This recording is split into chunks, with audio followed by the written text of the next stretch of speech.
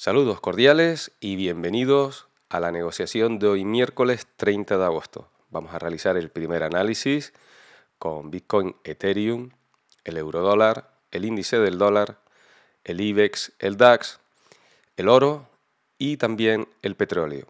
Algunos de ellos los haremos no solo desde largo y medio plazo para negociar, sino también incluso el intradiario como puede ser con Bitcoin. Bien, también veremos aquellos aspectos que pueden cambiar en el día de hoy el sentido de las negociaciones intradiarias desde el punto de vista fundamental, como ocurrió en el día de ayer. Precisamente por eso estamos viendo caídas del 1% en Bitcoin, de medio punto porcentual en Ethereum. Enseguida pasaremos a ver qué es lo que ha ocurrido. Desde el punto de vista fundamental, ayer se publicó el índice de confianza del consumidor del mes de agosto era una de las noticias rojas que teníamos marcadas como importante. Bueno, pues hubieron subidas, después de una apertura plana de Wall Street, hubieron subidas eh, en cuanto se conocieron los débiles datos de Estados Unidos. Por ejemplo, el SP500 subió por encima de un 1%, el 0,60% que tuvo de subidas el Dow Jones incluso el Nasdaq que tuvo subidas por encima o iguales al 1,5%, incluso el Russell 2000, 1.30. Conocimos eh, esos datos desde Estados Unidos, desde el Tribunal Superior de Apelaciones de Estados Unidos, conocimos que la SEC estaba equivocada al rechazar la solicitud del ETF de Bitcoin al contado de Grayscale y ordenar otra revisión. Tuvieron unas subidas importantes las criptomonedas, pero como digo, siempre desde el punto de vista fundamental, desde el punto de vista técnico, lo que teníamos y seguimos teniendo es más de lo mismo. Pero ahora pasamos a verlo. ¿Qué noticias tenemos hoy para la negociación que pueda también cambiar el rumbo de las cotizaciones más eh, importantes, las principales? Pues lo hemos estado viendo durante la semana. La más, la más importante de ellas se conocerá antes de la apertura de Wall Street, el Informe Nacional del Empleo de agosto, el informe privado, el ADP de empleo privado. Se esperan 195.000 nuevos empleos del mes de agosto. El pasado mes fueron 324.000. Este dato también, si sale débil, podría ser que haya nuevas subidas en los principales índices, en acciones y también en las criptomonedas. Otro de ellos, el PIB anualizado. Atentos a este dato de la inflación del segundo trimestre. Segundo trimestre no es mensual, sino el segundo trimestre. El anterior fue del 2%. Se espera una inflación del segundo trimestre del 2,4%. Son dos datos que se conocerán antes de la apertura de Wall Street y que, como digo, pueden cambiar el sentido de las tendencias, al menos intradiarias y de corto plazo, de las cotizaciones. Por último, también tenemos los stocks del petróleo, del crudo, pero este es cada semana. Y pasamos entonces ya a los aspectos técnicos. Comenzamos con Bitcoin como cada día tanto en los futuros como en el contado, vemos que las cotizaciones, voy a abrir el gráfico y a igualarlos, a la izquierda el contado, el spot, a la derecha los futuros CME. Incluso con el cierre que tuvo la cotización durante las horas que suelen cerrar tras el, como todos los demás futuros, cuando cierra el parqué, cuando cierra Wall Street, durante una hora, a pesar de ese gap que podemos ver entre el cierre de ayer y la apertura de la siguiente negociación, los dos activos, tanto el contado como los futuros, llegaron a los 27.718. Este nivel de negociación bajista del corto plazo, 27.950, es en los futuros. Justo ahí se detuvieron esas subidas. Y se detuvieron ahí porque iban en contra de lo que era la pauta y la tendencia. Y aquí lo estamos viendo. Después de haber realizado las fases 1, 2, 3, 4 y 5 en, la serie diaria, estamos en la parte de distribución, hemos visto cómo en los 26.000 rebotó en el día de ayer tras conocerse esa noticia en contra del escenario más probable, que era venir a los 25.270 y 24.795. Ahora plantéense ustedes directamente, cada uno, plantéatelo, si esta subida va a cambiar todo, si miramos la serie semanal también, si esa subida va a hacer que lo que tengamos entonces sea una continuidad de esta tendencia de los últimos meses en una única fase, desde el mínimo que dejó a finales de noviembre pasado, donde hemos estado estudiando el comportamiento del precio de Bitcoin con máximos que se están no solo acercando, sino también estaban decreciendo, incluido el que hemos tenido con el máximo de ayer durante esta semana. Plantéense si finalmente esta tendencia no ha finalizado, si va a continuar en busca de los 31.800, 32.000 dólares, desde ahí a los 35.900, o si en realidad el fundamental, esa noticia, se aprovechó en el día de ayer para realizar una imagen que pueda ser de para atrapar de una trampa alcista, trayéndolo exactamente a este nivel negociable, que es el 25% de ganancias de toda esta subida. El 50 lo teníamos los 30.166. He querido dedicar este tiempo del análisis eh, eh, con mayor profundidad para que tengamos esto en cuenta, le puedas dar una vuelta y saques tus propias conclusiones. En el largo plazo lo tenemos claro.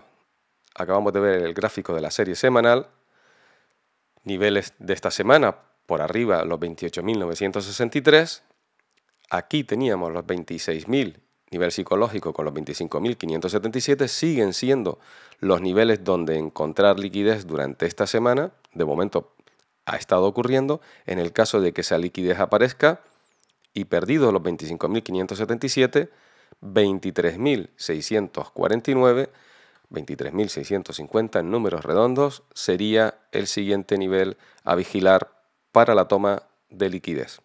En la serie diaria también lo tenemos claro, después de haber llegado, este era uno de los objetivos alcistas que teníamos para esta semana, el segundo serían los 28.963. Si aquí sale la cotización finalmente rechazada, 26.000 y 25.200 junto con los 24.795 son los objetivos semanales para esta negociación de mediano plazo. Si pasamos a la serie de cuatro horas, aquí también ha ocurrido lo mismo, sigue faltando una serie, fueron muy pocos dólares la diferencia, pero sigue faltando dos escenarios. Primero, que haya un cierre de toma de beneficios, es decir, un cierre de cuatro horas eh, pintada la vela de rojo, sigue faltando ese cierre aquí en el tercer objetivo. Las órdenes que estuvieran aquí preparadas para tomar beneficios siguen estando pendientes, a pesar de esta subida. Así que el planteamiento que hay que hacer para no solo el día de hoy y también para mañana viernes, de aquí al domingo, es si nuevamente retornará a tomar liquidez a la zona de los 25.200, 24.795. Si no lo hace, niveles que tenemos que vigilar en caso de volver a encontrar liquidez con las noticias en el día de hoy, eh, los 27.763 y desde ahí los 28.574 y 28.963. Estos son los niveles para la negociación de corto plazo entre hoy, mañana e incluso el domingo, porque los futuros cierran, pero el contado no aunque en el fin de semana apenas estamos teniendo negociación, participación y volatilidad. Y ahora pasamos ya a los intradiarios, abrimos el gráfico, lo estamos viendo primeramente en gráfico de una hora. Desde que la cotización abrió en los 27.722 la jornada de hoy, hemos visto cómo ha negociado diferentes niveles para llegar hasta el antepenúltimo, los 27.306. En el caso de que se pierda el objetivo donde estamos ahora mismo, tenemos 27.168 como el último, desde ahí derivaríamos a los 26.952. Si después de este rebote que estamos viendo, y vamos a pasar a la serie de 5 minutos para que vea cómo ha funcionado, abrimos el gráfico, en el momento en que ha ido negociando los diferentes niveles por la parte de soporte, de liquidez, la ha llegado a encontrar en los 27.300. En el momento en que la vela de 5 minutos, y por eso lo vamos bajando a 5 minutos, cierra en este nivel, a partir de ahí encuentra esta liquidez, liquidez suficiente para llevarla nuevamente a los 27.445.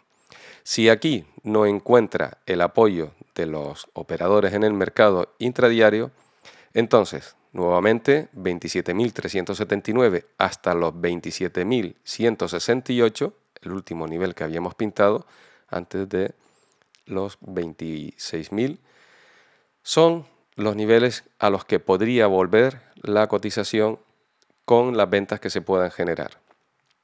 Por la parte de arriba, recuperando 27.550 y estos también, publicaré este, este gráfico en el Twitter para que tengas las, las referencias y a partir del lunes también lo publicaré en mi cuenta de TradingView, en mi usuario. Recuperado los 27.700, por la parte de arriba, los niveles que pueden llevar a la cotización hacia el escenario que habíamos planteado anteriormente, el último lo tenemos en los 28.276. Aquí lo vemos. 28.276 que la negociación de corto plazo podría acercar la cotización entre los dos niveles que teníamos que vigilar. Así está la negociación intradiaria de Bitcoin para el día de hoy. Espero eh, haberme explicado. Aún así lo iremos haciendo cada día de tal manera, porque empezaremos por ese análisis. Hoy, por lo que ocurrió en el día de ayer, he querido empezar desde el semanal en adelante. Aquí estamos viendo a Ethereum. Y en Ethereum también hubo esa subida, pero se ha quedado en medio camino o a medio camino. Si sigue las alegrías en el mercado, superado este máximo que teníamos aquí del 23 de agosto, estamos ahora mismo cotizando por arriba, los niveles a negociar 1755, 1846 hasta los 1890. Debo recordar que aquí lo que estamos mirando en esta última fase en la que se encuentra el mercado, esta última pauta, son los 38.20, el 50% y el 61.80. De esta manera podría llevar nuevamente hacia esa ventana que hemos preparado para la negociación de mediano plazo en Ethereum, así hasta llevarlo a los 2141 y por encima ya tenemos 2500 y 2300. Pero nos concentraremos aquí. No se llegó a evaluar los 1529, se quedó frenado. La tendencia sigue siendo de máximos y de mínimos eh, decrecientes. Esto todavía no ha cambiado. Por lo tanto, mantenemos nuestro escenario, igual que en Bitcoin, correctivo. En los dos mantenemos el correctivo. Si ahora miramos ya la serie de una hora, pues aquí lo que tenemos es que sí que se alcanzó un objetivo bajista, el 25% de la pauta que estaba haciendo el comportamiento en este gráfico, aquí es en donde se frenó durante la subida de ayer con esa noticia. Igual que lo vimos en Bitcoin, se ha frenado en un objetivo bajista, no es un objetivo alcista. Así que estaremos pendientes de los 1684 hasta los 1529. Para finalizar Ethereum, en la negociación intradiaria tenemos el precio de apertura en los 1729 y desde ahí he ido negociando estos diferentes niveles hasta caer a los 1700 dólares. Desde ahí está viendo una recuperación. Por la parte de abajo, niveles negociables van desde los 1712 hasta los 1695. También lo publicaré en el Twitter en el día de hoy. Si encuentra suficiente liquidez donde nos encontramos ahora mismo, recuperado los 1729, entonces cambia el sentido de negociación intradiaria.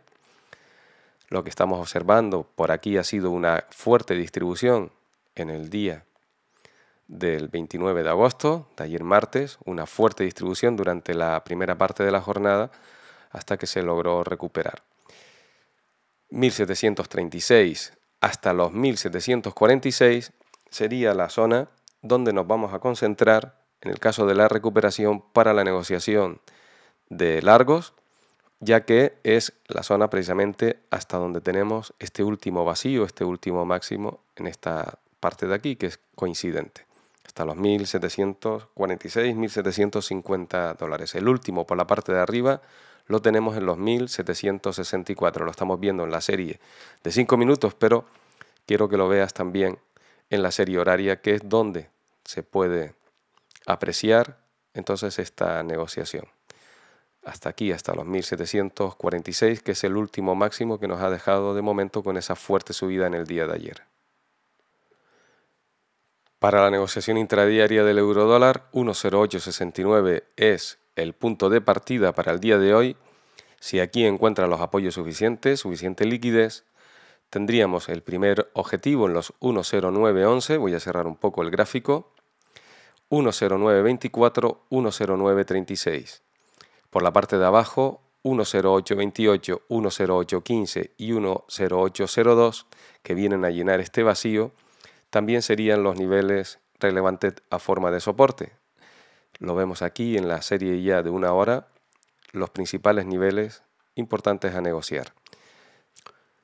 En el mediano plazo sabemos que el eurodólar está realizando lo que es un movimiento de fase correctiva tras haber alcanzado el máximo de la fase número 1 en los 1.1276 con los dos últimos días de ganancias se ha colocado nuevamente en esa zona, pero la tendencia que tenemos ahora mismo actual, la de corto plazo, es una tendencia correctiva. Seguimos con el escenario de que a pesar de esta subida pueda volver al precio de apertura de este año, los 1.07, 1.0611 y 1.0546 por la parte de arriba niveles a vigilar, para lo que queda de semana, siguen siendo los mismos, 1.12.39. Ahora ya en el resto de activos nos concentramos en el medio y corto plazo, comenzando por el oro, rebote en estos últimos días, en estos siete últimos días desde los 1918, refugio de largo plazo, por la parte de arriba nivel sigue siendo el mismo a vigilar, 2015 como objetivo alcista para esta semana.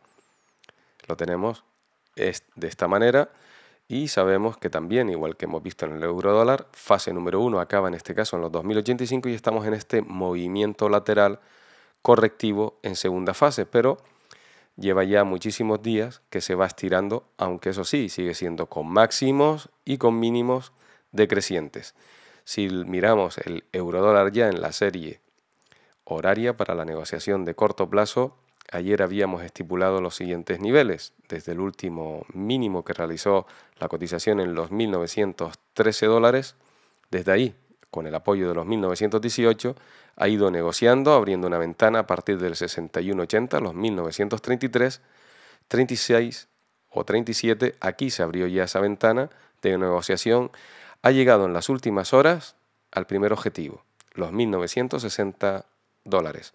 Le queda el segundo objetivo, los 1.970, y el último lo tenemos en los 1.990 dólares.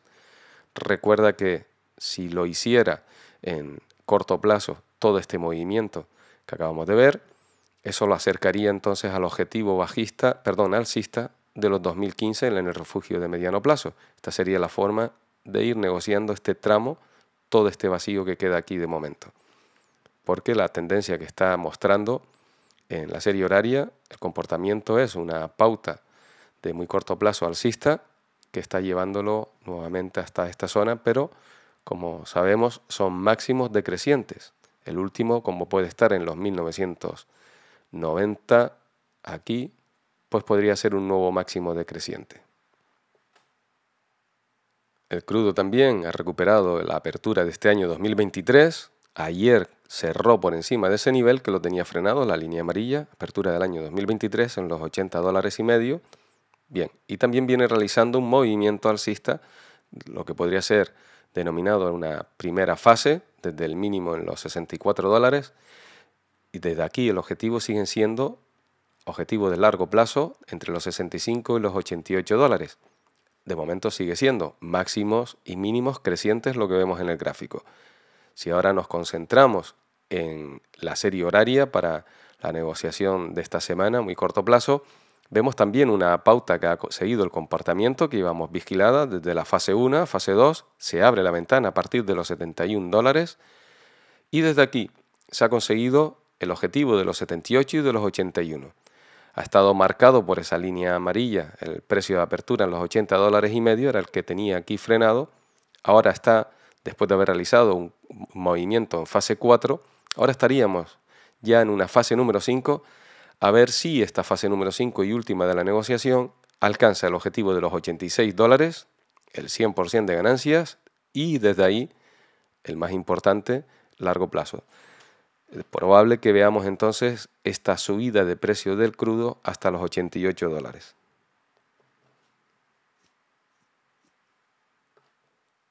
Y vamos a acabar ya con el DAX y el IBEX. Llevamos 20 minutos y medio de, de análisis, pero los análisis, sobre todo a la primera hora, deben de ser así. Tenemos muchos precios que ver, muchas tendencias. Hay que verlo de forma tranquila, pausada y ver los comportamientos de los precios. Después ya el segundo y el tercer análisis pueden ser bastante más ligeros. El DAX en la serie diaria sabemos que está realizando movimiento en fase número 1, 100% de ganancias hasta los 16.616. Esta es una pauta de grado mayor. Durante los primeros meses de este año estuvimos negociando aquí en el canal una pauta de grado menor con sus cinco fases que se completó y obtuvimos la ganancia. Eso nos ha dejado esta que tenemos ahora mismo. En este canal que estamos viendo, el comportamiento es de posibilidad de que sea una fase correctiva, una fase número 2, buscando los 15.330, los, los 14.787 y desde ahí los 14.222, es decir, un 50% de corrección de lo que ha sido toda la subida. Este es el escenario que estamos contemplando. A pesar de haber empatado tres días consecutivos, como vemos, de ganancias, hoy está reaccionando en el nivel psicológico de los 16.000 puntos, eso es lo que está dando en preapertura de los mercados en Europa, también en Estados Unidos, nos está dando este freno y esa pequeña caída. Recuerda que en el corto plazo o en el muy corto plazo estábamos negociando una pauta bajista donde llegó al objetivo primero de los 15.556 puntos, aquí lo tenemos, llegó y desde ahí volvió al mínimo de la fase número 1, a los 15.768 ya podemos contemplar esto como una pauta plana. Ha traspasado este nivel durante muchísimas horas e incluso ya un grado importante. Así que esta pauta ya no la vamos a seguir manteniendo, se ha vuelto plana y no ha ido a buscar el segundo objetivo. Ahora bien, contemplaremos una desde el último máximo hasta este mínimo. En vez de ser hasta donde lo teníamos, hasta los 15.768, vamos a dar todo como un movimiento bajista, trasladaremos aquí este, este punto, pero vamos a estudiar en las próximas horas qué ocurre en los 16.000 y si sale rechazado. Porque simplemente con que lo hagamos así, ya hemos trasladado todo el cálculo, tomando esto como un único movimiento, entonces tendríamos el máximo, el rompimiento en los 15.519, el, el breakout, y vemos que ha llegado al 61.80 y es el nivel que lo frena. Puede retroceder hasta los 16.068, incluso 16.197 para rellenar todo este hueco. Si vemos que sale rechazado de alguno de estos niveles, entonces esta pauta bajista se va confirmando con un nivel nuevamente de entrada, si llega al menos a los 16.068, se abriría la ventana aquí a partir de los 15.900 puntos.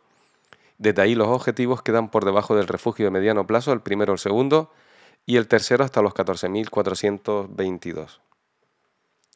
Finalizamos ya con el IBEX, 9.310 puntos, refugio de largo plazo en la serie diaria, donde ha conseguido nuevamente esa liquidez. Estamos, ya como sabemos, hemos llegado a una fase número 5, en los 9.748, último objetivo, pero vemos fuertes subidas también en los últimos tres días que están teniendo la mayoría de los índices.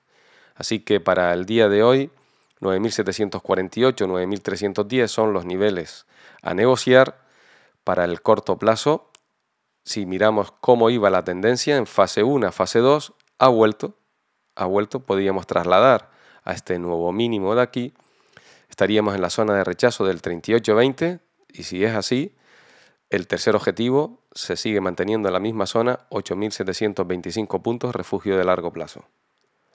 Acabamos entonces recordando los fundamentales de hoy que pueden cambiar nuevamente las posiciones. Si has llegado hasta aquí, te recuerdo también que Bitcoin entonces puede caer. Tenemos el último nivel calculado en los 27.168 dólares podría volver a retornar. Recuerda que con la volatilidad tan fuerte que experimenta la cotización cuando hay noticias importantes para las criptomonedas, este último nivel desde ahí se puede traspasar fácilmente. También ocurrió en el día de ayer, pero para la negociación intradiaria tenerla en cuenta y las posiciones, pues observar si son los puntos donde se podrían cerrar en, en esa negociación. Desde ahí lo puede llevar a los 26.952. Pero día a día ir mejorando la forma de explicarlos lo conseguiremos seguro, que nos vayamos entendiendo cómo ha ido pasando con el resto de cosas que vamos haciendo en el canal. Como siempre será más y mejor y nos encontraremos en el segundo análisis.